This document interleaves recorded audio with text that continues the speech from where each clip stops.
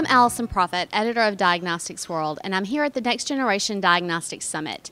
Yesterday, I got a chance to talk with Charles Mathews, and he told me a little bit about his vision for the diagnostics industry, sort of where our problems are, and how we need to set our own standards in order to move forward. Charles, can you tell us a little bit about that?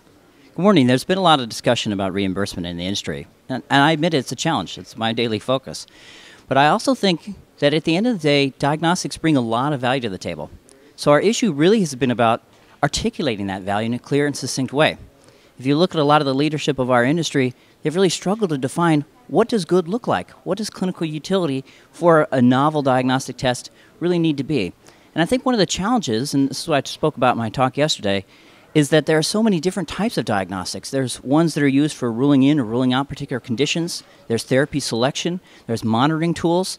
And I think each of those different types of diagnostics will require different evidence standards around, around it. It needs to be something more than what we had previously, which is if you and I own a CLIA lab and had a great idea, we could launch it tomorrow with very little evidence because the regulatory paradigm did not require us to do that. But now payers are asking for more and more evidence.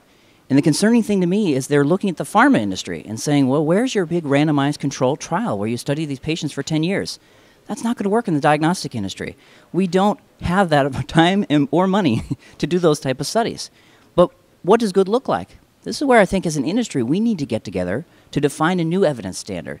An evidence standard that says for certain tests, maybe used in niche populations, there's still some evidence, but maybe it's not as much as something as large as Exact Sciences launching a CRC assay that will be used by millions of people across the country.